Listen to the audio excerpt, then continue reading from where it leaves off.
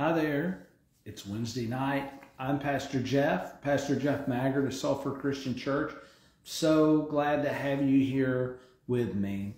Tonight we're going to be looking in God's Scripture, the Holy Bible, about answers to a worldwide epidemic. We're going to talk tonight about overcoming anxiety. If you yourself aren't suffering from some sort of anxiety, I'm sure you know someone, or maybe many someones who are. We're going to talk tonight. We're going to talk in depth about how God already knew we would get to this point in history. And we're going to talk about how God put into His Word how we can overcome anxiety, how we can deal with it, how we can treat it. And it's very important that um, we open up our hearts, we open up our minds, we open up our spirits to what God teaches us because the world is telling us something totally different. The world is trying to tell us that we can take care of this ourselves, that through self help we can overcome anything. And it's simply not true. It's just simply not the truth. But there are ways, and we're going to talk about that here in just a moment. So I want to open us up quickly in prayer and get right into talking about overcoming anxiety. This is something a lot of people need to hear. Okay, and perhaps you're one of them. But like I said a moment ago, if you're not one of them, you know someone who does need to hear this. So we'll have the opportunity, you'll have the opportunity when I'm finished tonight to share this with people that you know. Share this, put this on your news feed, uh, send the link to this to people because uh, they're going to need to hear it. There's a lot of people that need to hear this. Let's go to the Lord in prayer. Dear Heavenly Father, Lord Jesus, this isn't the, the Jeff Maggard uh, method of overcoming anxiety. This is the Jesus way, the godly way, the Holy Word, the Holy Bible way of dealing and overcoming anxiety. Father God, you know our every care. You know our every need. So, Father God, open the scriptures to us. And Father God, let us be an open vessel that you can pour these truths into because I have too many people around me, Father God, that feel locked in a closet with no windows and no doors. And Father God, they need to see light. They need a way out. And I know that your light and your way is the way out of those places. So, Father God, open us up. Help our ears, our eyes, our minds, our hearts to hear what you have to teach us. In your precious, holy, mighty name we pray. Amen. Amen. So, again, welcome. So glad that you're here. Uh, I know, I know that overcoming anxiety can feel impossible. I know that sometimes people can get to a point where they feel like they're in a room with no windows, no door, and that the light around them is slowly fading into darkness but it doesn't have to stay that way. That's the good news. This is what I want to share with you right now. Anxiety is a mountain that you can see standing in front of you. It's there. Sometimes it's day in and day out. Sometimes it wavers. Sometimes you have good days. Some days you have bad days. But anxiety can be there in every situation. Perhaps you've prayed about it Maybe you've asked God, please take this away from me. And maybe you've even asked yourself this. Maybe you've cried out to God, and maybe you ask yourself, is overcoming anxiety even possible? Well, I want to give you some encouragement right now. The answer is yes. It is possible. And we're going to talk tonight about how. I want some folks to come on board and believe. And those of us in the faith already trusting God, please pray for every single person that sees this and hears this and needs this. Pray over them. Pray over our brothers and sisters and the lost and unsaved that are crippled, crippled by depression and anxiety. No, sir, no, ma'am, you do not have to stay there. So, what we're going to talk about, very first thing is implementing practical steps, things that make sense. The truth is, no matter what we suffer from disease, sickness, uh, disorders it typically doesn't get all the way better overnight. It takes time, it takes effort, it takes some discipline. It's okay. It's okay to take baby steps. It's okay to let little things move you along. It's also a great thing not to let yourself get discouraged if things aren't moving as quickly as you want. But implement some practical steps. My first challenge is if you're really wanting and trying to overcome anxiety, is see your circumstances through a spiritual lens the most difficult thing with anxiety is holding on to a world view or a worldly view or what the world says. Getting caught up in that is unfortunately a source of anxiety, not the way out of it. So if we study our Bible, if we read, if we go to church, if we worship, if we will just allow ourselves to open up to what He has to say to us, what He has to teach us, if we will somehow learn to see our circumstances through a spiritual lens, if we seek what God says, we'll begin to find our way out of anxiety and depression. See your circumstances through spiritual lens.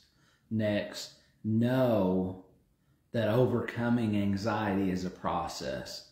It takes time, it takes discipline, it takes effort. And like I said, you have to take baby steps first, and it's okay. You may sprint a few steps and run into a wall. It's okay. It's part of the process. Trust God. Trust His Word. Trust where He's taking you, not necessarily where you're at right now, but trust God to move you along.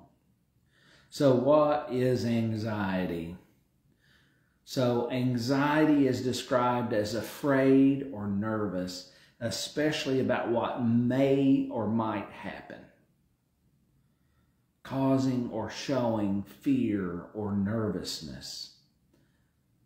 So, a lot of times, the word anxiety itself is immediately related with fear. Fear of what may happen, fear of repercussions from what has happened in the past, fear of the unknown, fear of lies, fear of sometimes everything, moving forward, moving backwards, left, right. Sometimes it's a crippling feeling, anxiety. So we need to make mm-hmm. sure that we're very, very careful about uh, associating anxiety with only fear. We know that the Bible has a lot. Listen, it's amazing. God knows us. He knows we're going to have anxiety. He knows we're going to have issues. He knows. And we know that the Bible has so much to say about fear. We know it has a lot to say about anxiety and depression and fear and how uh, that ha- happens. And according to the Bible, listen, according to God's word, Anxiety snares you. It'll reach out and grab you when you least expect it. Anxiety will grab you and try to pull you away. Listen to Proverbs 29 25. Proverbs 29 25. The fear of man brings a snare, but whoever trusts in the Lord shall be safe. The world, the enemy, is always trying to grab us and pull us into the dark and take and shake our confidence. But if we'll slowly over time learn to trust the Lord, those snares won't work anymore. Those triggers won't be effective anymore because we'll just be able to say, no, no, Satan, not today. We're not playing that game. I trust in the Lord. He's made a way for me, and I'm going with Him. And it's a beautiful thing that God gives us. So, anxiety snares us too. Anxiety is from the enemy. Okay, get it in your head and your heart today. There is God, Jehovah God, our God, our Creator the author and perfecter of our faith. And there is a devil. There is Satan. He is real. And he is the author of depression and anxiety and fear and lies and deceit. 2 Timothy 1 7 says this For God has not given us a spirit of fear, but of power and of love and of a sound mind. Listen, that's exactly opposite of what the enemy, Satan, tells us.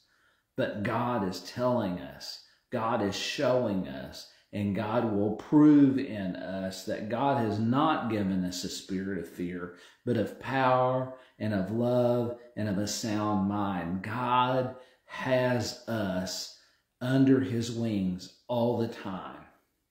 So the Bible says anxiety snares you. The Bible says that anxiety comes from the enemy. And third, the Bible tells us that anxiety is overcome with God's perfect love. Anxiety is overcome with God's perfect love. Listen to this. There is no fear in love but perfect love casts out fear because fear involves torment. But he who fears has not been made perfect in love. 1 John 4 18. There is no fear in love. If we focus our love and we focus our mind and our attention on Jesus, on God, on the things that He teaches us, the truth, the truth is we have nothing to fear because he's here. God is with us. God is for us. And if God is for us, no one and nothing can be against us. So if you're really, really feeling crippled and crushed by anxiety, just put your arms up and say, no. No. I love God and God loves me, and I am safe. How do we overcome anxiety? We overcome it with God's perfect love. Think of anxiety as a battle taking place in the recesses of your mind, in your thought processes in the way you think, in the way you perceive things around you. Think about what causes you the most anxiety. What do you see? What do you experience? What do you think about most that triggers your anxiety? A lot of times it is fear of the unknown fear of things we can't see or don't know what's coming, and we worry don't we? We worry about things. And a lot of times they're things we can't control, things we can't really do anything about other than be positive and trust God. These places are where the enemy, where Satan wants to keep hidden and in the dark. He throws tormenting lies around. Let me tell you, virtually 100% of anxiety is mm-hmm. lies. Mm-hmm. Saying, making you think the worst possible scenario is going to happen no matter what you do. But that is a lie. That is not the truth. Satan lies about your past. Satan lies about your failures and the insecurities that you have, making you think about that more than anything else. It causes us to have anxiety, to have fear, because we're, we're wondering, are my past mistakes, are my failures,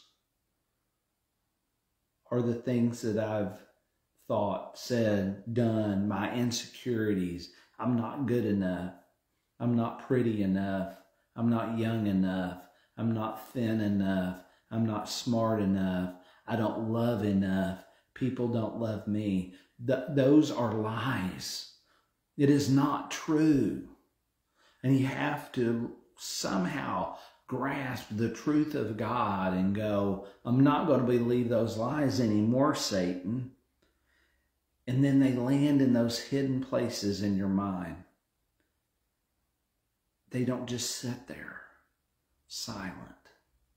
They keep speaking to you in your mind and they fester and grow. And it's like a virus that grows in your mind and it tries to drown out the light in your life with darkness. And in order to overcome that, we have to let the light in us grow. And we have to trust God. The good news is that those dark places in your mind, those insecurities, those failures, those past mistakes, they can be filled with new, good love and truths. They can be filled with good and pure thoughts. So the anxiety has no place, no place to live in your mind, in your psyche, in your body, in your soul, in your spirit. There'll be no room. You can replace those thoughts that pull you back into the dark with thoughts that will force you forward into the light.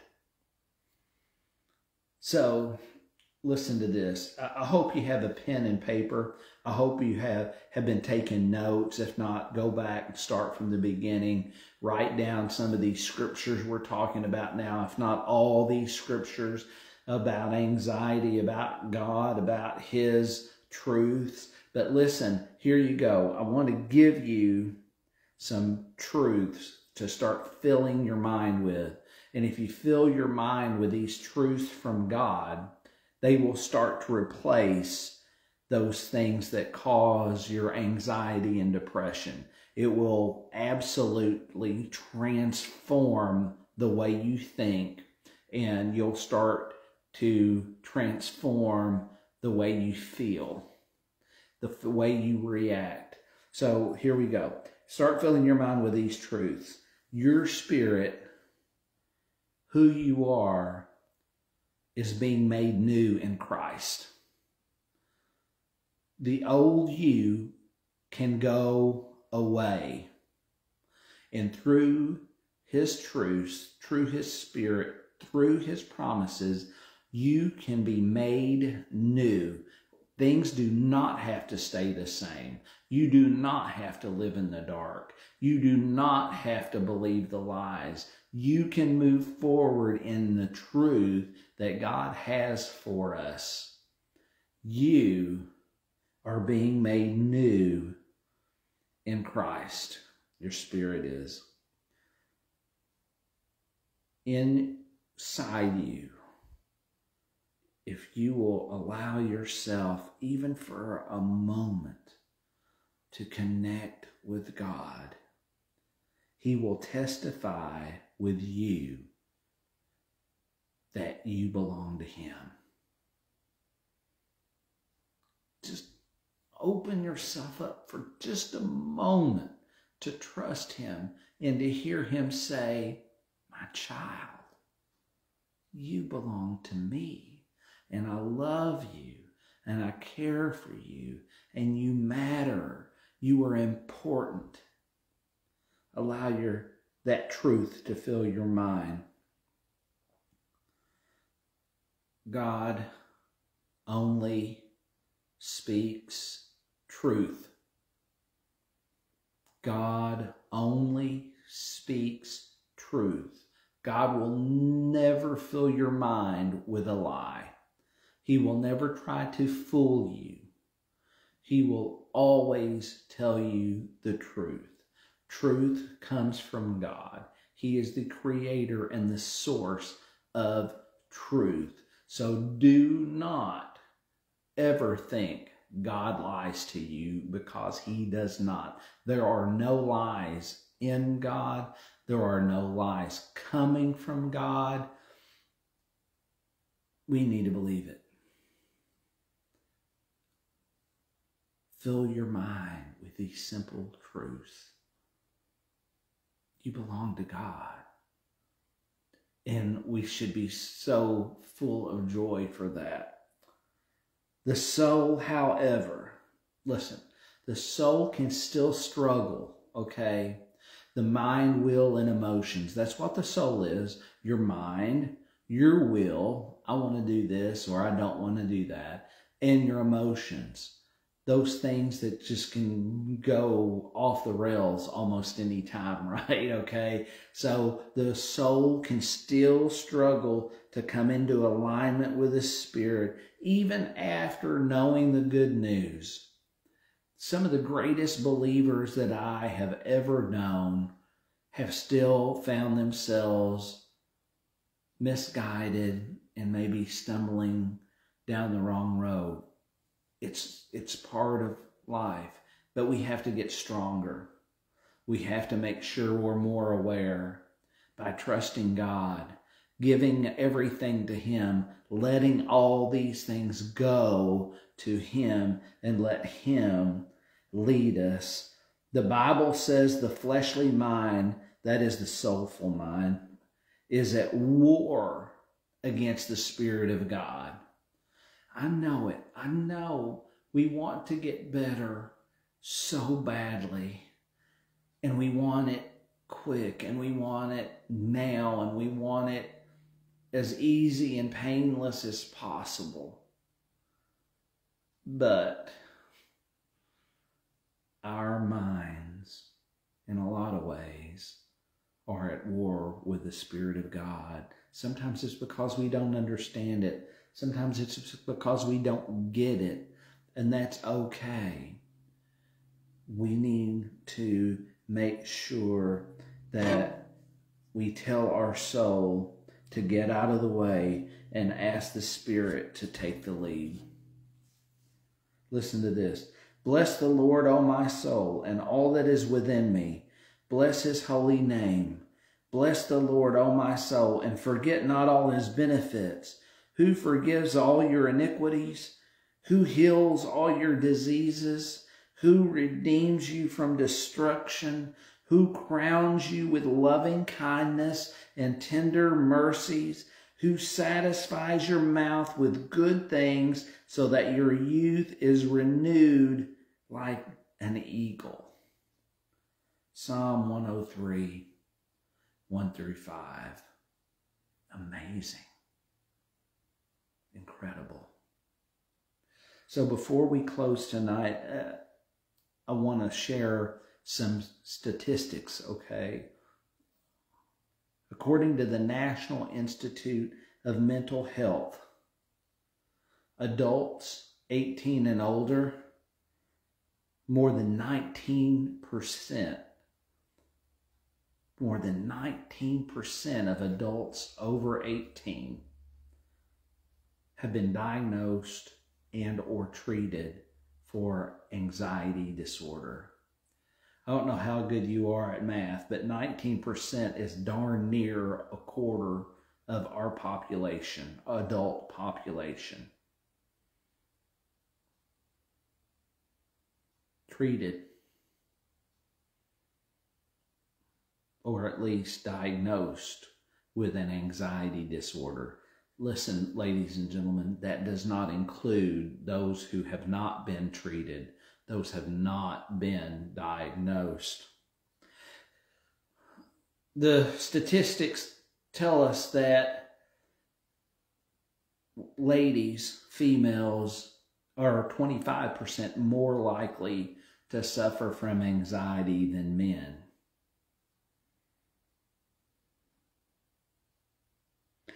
And 31% of U.S. adults over the age of 18 experience an anxiety disorder of some kind in their lifetime. Listen, if 19% of adults 18 and older suffer from some sort of anxiety disorder, that's 40 million adults in the United States alone. 40 million. And again, that doesn't include those untreated or undiagnosed. Only 30 36% of people who have some type of anxiety disorder or anxiety period seek treatment because it's scary. It's troubling. It's hard because people treat us differently when we show our imperfections, when we share where we're at and we're truthful and transparent. That doesn't work very well in this culture. But let me give you good news. Let me encourage you again before I close tonight. Now, I want you to I want you to know that um, we're going to be talking about this for the next two weeks as well. We're going to be talking about overcoming anxiety tonight, right now, next week, and the next Wednesday. So for three Wednesdays in a row, because this is a huge problem in our society. We need answers.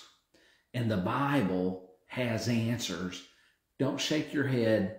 Don't wave it off because I'm telling you, there's only one thing that works in this world, and it's God's way. If you want to get better, I don't know if you remember, but a man had had physical, mental problems all his life, and he sat by a pool and the the rumor was and, and, it had this mystical kind of aura about it that if you could get in the water you could, it would heal you of anything. Jesus and the disciples came by and they saw this man lying near the water. His claim was that nobody would help him and he couldn't get to it. But jesus said stand up. Mm-hmm. Mm-hmm. And he asked him, Do you really want to get well? The man said, Overcome with the Holy Spirit. Yes, Lord. Then Jesus said, You don't need to go get in the water. The answer to your problems is not in that water.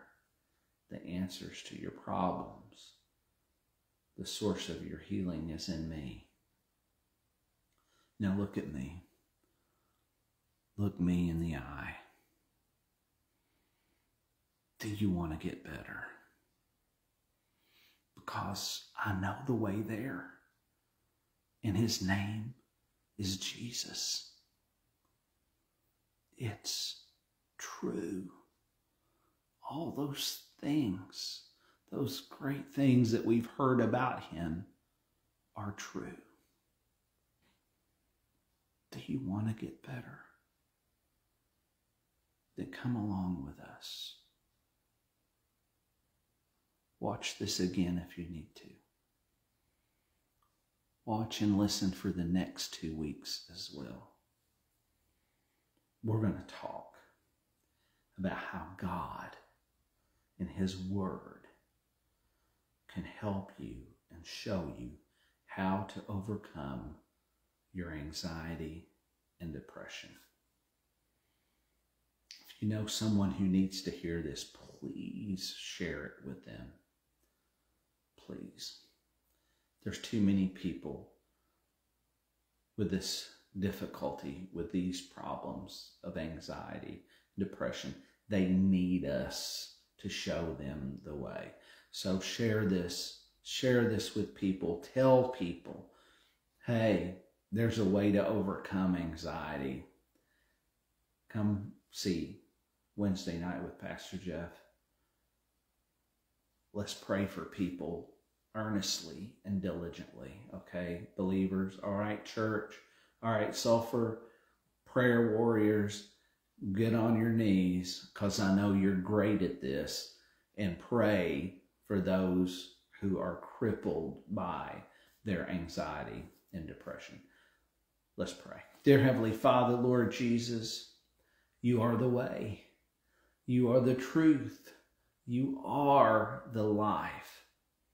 Lord Jesus, as we listen to this, as we learn, as we hear your word, Father God, open your spirit to our minds, hearts, souls, and even our bodies, Father God, to know your truth to know that you have a way out of that box that we feel like we're in sometimes. So, Father God, be with us, lead us, guide us. We love you, Jesus. We love you so much. You're so good, so good. Thank you that we do not have to live in anxiety. Lord, we praise you and thank you. In your holy name we pray. Amen. God bless you all. I love you all. I really do. And God loves you too. So I can't wait to see you again. Come see us on Sunday morning. If it's not on Facebook, please come by. See us 8447 Sulphur Road, Sulphur, Kentucky 40070. Put it in your GPS and come on. Come see us and join the family. You would love it. I'm telling you the truth. God bless you, and I'll see you real soon.